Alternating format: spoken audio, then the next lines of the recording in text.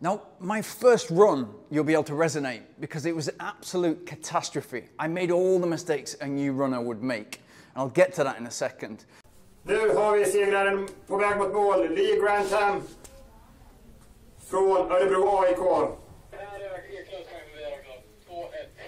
Så en eh, varmt mottagande och eh, på väg mot mål. 33 och 20 är klockan på då 33, 25, 26, 27 någonstans. Där, Lee Grantham.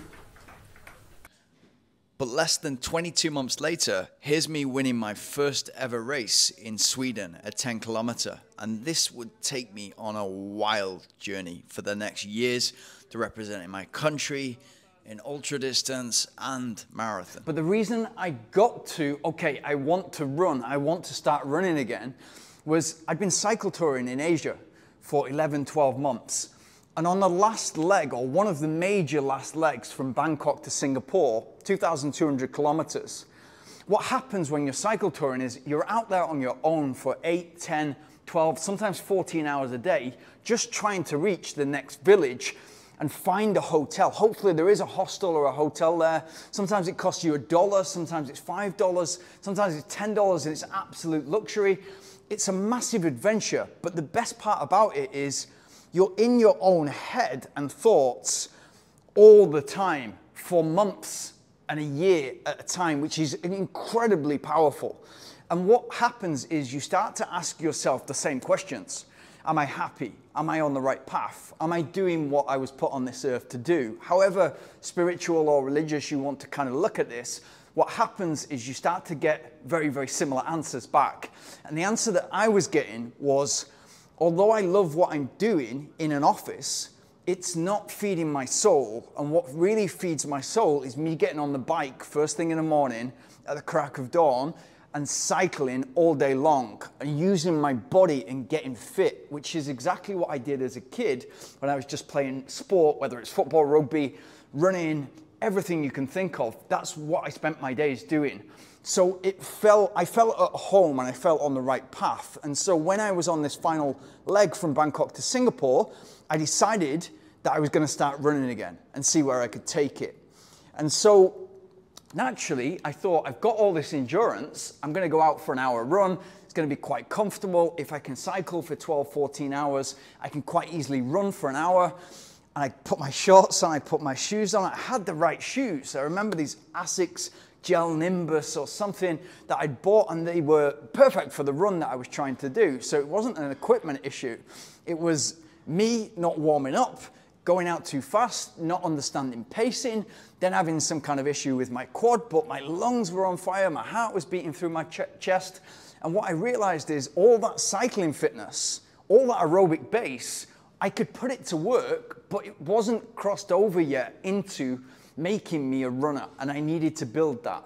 So when I went out, I lasted 400 meters, no more than 400 meters, and started walking back to the house.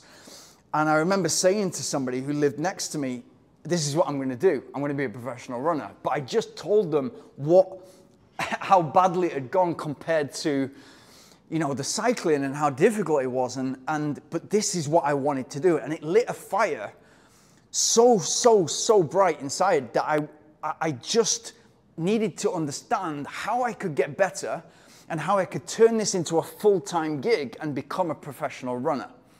And so I needed to wait a couple of days because I'd done something with my quad. I'd probably just microted the quad and it was an issue, but I needed to wait a couple of days. And then I researched online. What do I need to do in order to sort of start running? And it was essentially insert the habit. So I started to run really, really slowly. And looking back, it was too quick. But for me, it was slow because I felt that could, it was comfortable enough for me to hold it and I started to insert the habit and I would alternate days between cycling and running and run as much as I could. But then I also started, because it was hot and it was in Thailand, I started working on the treadmill. So I'd go to the treadmill. It was very exciting for me because I didn't have a Garmin or I didn't have anything that was tracking my pace. So all of a sudden I could see how fast I was running. And then I remember sending a Facebook message, which I'll try and find, a Facebook message to somebody who ran for the running club that I used to run for when I was a kid, East Cheshire Harriers. and asking, this is probably after two or three weeks training, no more. I remember asking, what's a good time for 10K? So I had it in my mind that I wanted to be a good 10K runner and, and be able to run a good 10K, be fast at that. And I knew that to do that, I'd need to be fast at the 5K or get my time down for the 5K and then go. And I had no times so far. For, so everything was improvement, everything was a personal best. And what he wrote back, I think it was Gavin Brown or his brother Liam. And he said 34 minutes is a good club runner. And so I had this idea in my head okay, 34 minutes, break that down into kilometers. That's 320 per kilometer, which means 1640 for 5K. And I was far away from that. But for me, you're in this progress curve that's like the banana zone to begin with. So everything you do is moving you forward. And that's both great because it's extremely motivating and that initial motivation, you're seeing progress and you're in this positive feedback loop. It's already, it's also incredibly dangerous because if you take a new runner, no matter what their background, sporting or not, and you get them to do whatever, they will move forward. And then what they will associate with that training, however good or bad that training was, they will associate that with good training that moves them forward, which may be so far away from optimal but they're not considering that because it works. And that's where I was. So I was going to the treadmill three times a week and I was running outside once or twice a week because it was so hot. And I was, move, I was still cycling, so I was still moving my aerobic base forward. And then I was trying to run as fast as I could once a week on the treadmill and trying to get towards First of all, I remember it was like 13 kilometers an hour, then 14 kilometers an hour, then 15 kilometers an hour. And then I was thinking, if I could just hold what I can run for a kilometer, 15 kilometers per hour, for one kilometer for four minutes, if I can do that, I can run a 20 minute 5K. So what I was doing is I was constantly, every week, trying to get faster, which is a key mistake that I see from a lot of people, especially people who are doing a lot of park runs or 5Ks, and they can go out there, they feel fresh enough to go and race all out 5K at the weekend and then try to improve. And what happens is, you get to 21 minutes, and then maybe 20, 50, and then the next week 21, 20, and then you're kind of playing around because essentially you're at a plateau because you're not letting the training soak in. But that's exactly what I was doing. And I was doing it with 1K, I was doing it then with 1500 meters, with 2K. And eventually I got to a point very, very slowly, which took way longer than it should based on what I know now.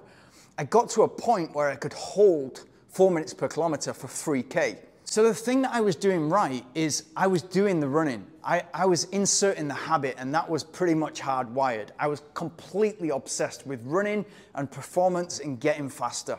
And I was supplementing the bicycle and implementing that as part of the aerobic base and that was feeding in nicely. I was going way too hard on the bike based on what I know now and I was going way too hard too quickly when I was running. But the habit was hardwired, which is the most important part. I also wasn't considering power to weight ratio. So I was still lifting in the gym as though I was a rugby player or a football player or a cyclist, which is what I'd done in the recent past. And then all of a sudden, what happened was I got a message on Facebook off a friend of mine who was getting married, uh, a close friend from school, so I couldn't miss it. And this was 12 months, 12 and a half months into my sort of life in Thailand as a base and cycling around Southeast Asia.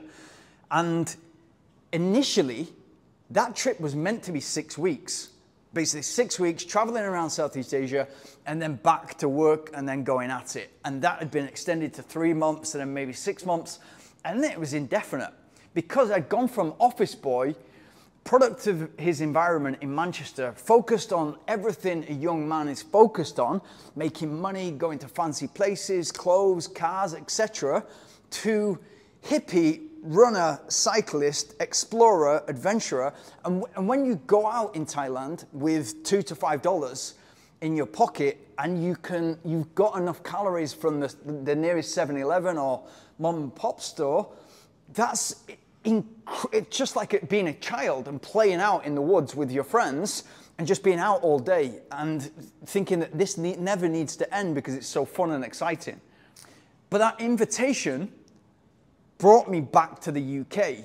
And what that did is I went to the wedding and I kind of like, you know, saw a completely different life that everybody else had been living in the last 12 months. And I, I definitely changed in that year. But what it got for me is I was able to run a park run. And so I ran a park run and I, I was still training on a treadmill fast because that's what I was used to. I remember doing that in South Manchester. And then I remember going to South Manchester Park Run and running 1830. And that was way faster than I'd been able to do it on a treadmill. And that's often the case. Sometimes the treadmill can feel fast for you, sometimes it can feel slow for you it definitely helped me out being able to compete with other people and really going for it and giving my all because of my sports background. So I ran 1830. I think I came fifth or sixth. And then three weeks later, I went for it. I implemented more training. I knew I needed to work on my weaknesses. And I ran 1630 and came first and it's park run, so it's not an official win, and I don't take it like that. But all of a sudden, I'm like, wow, I, you know, this is a, a crazy progress in five months. This is exactly what I want to do. And so I signed up, or I bought a ticket from a friend of mine that was selling Bupa Manchester 10K run. So after those park runs, I moved back to Sweden, and very close to where I live, just an hour away, was one of the biggest running clubs in Sweden. And so I joined that running club, which 400 members at the time, I think it must be at least double now. It was growing rapidly. And what that gave me was structure, but also the access to competition. It was much faster runners than me. And so I was competing with guys at my level and above. And that sort of really fed where I needed to be and what I needed to do in order to get there. And we were doing that structure, and it was very ad hoc. It wouldn't be what I would do now, but it was giving me the intervals, it was giving me the speed work, and it was also giving me the long run. And so I fed off that knowledge and built upon that. Once we got out of the winter, and it's harsh in Sweden, where I was living, it was between zero and minus 35 for a good period of sort of two, three months and, you know, an extended winter of five months. And it gets to the point where when you go out and do a run, you can't breathe in too deeply because you kind of freeze your lungs or it'll have, it'll be painful. Um, it's kind of like frostbite on your fingers. So I was running in those conditions. But once we got out, then I started to race. And again, I could see exactly where I was, but I was making new boy mistakes. And so it took me some time over the spring, summer, and then into the autumn. And as we hit October, things started to get into place and I started to get some decent results. And I always had in my mind that I want to run less than 34 minutes. I want to run a good 10K time, which is what I'd been told in, in 2010. And so, and I had in my mind 1640, which is 320 per kilometer, and then 320 per kilometer for 10K is 3320. And then I actually ran a 10K in 33 minutes and 27 seconds, which was nearly there, but it was like there was a bit of grass, there was a bit of trail. It wasn't necessarily a fast course, but I won the race. And it was all the feelings that I had from being a kid winning cross country races and track and field races, they all came back and I was like, ah, okay, I'm, I could be good at this. If I really focus, I could be good at it. So I was still working, I was still working a full-time job and this, but this was taking up all my heart. It was taking up all my thoughts, completely obsessed with running and trying to get better and still having to fight off all the negativity around it's way too late for you to get back into running. You know, you're overweight, you're too muscular. Um, what are you going to do? How are you going to be able to turn into, into a career? But in my mind, I was, I am going to be a professional runner no matter what it takes.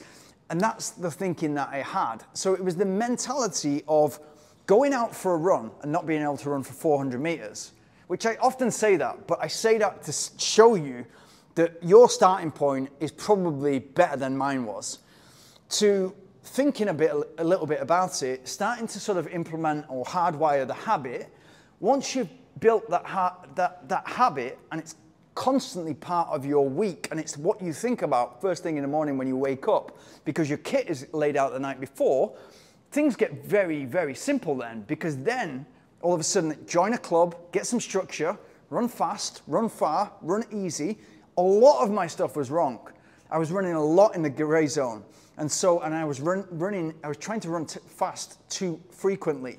And so I was taking steps forward. And again, you're in, you're going to move forward because you're inserting running for the first time. Or again, you're inserting running. And therefore, you're going to move forward no matter what you do. So you may as well move forward optimally and work with somebody who really knows what they're doing. But I got to a point where I thought, right, if I can tap into the right knowledge now, I can really fly. And this definitely can work. And so not only I was in the positive flywheel, but I had complete belief or that had been reaffirmed that I could be a good marathon runner and I could run for my country. And that's exactly what happened.